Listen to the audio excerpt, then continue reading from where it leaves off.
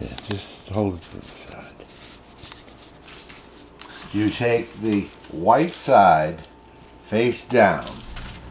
You take the yellow sheet and slide it into, are you getting this up close? Slide it into the back.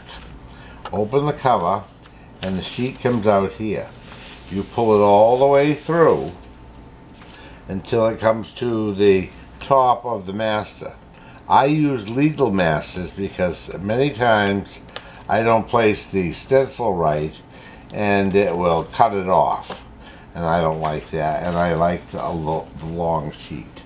So I've got it scented. One thing I do that they don't tell you to do is I center this piece and this piece together and I just pull it to make sure that they're straight and even.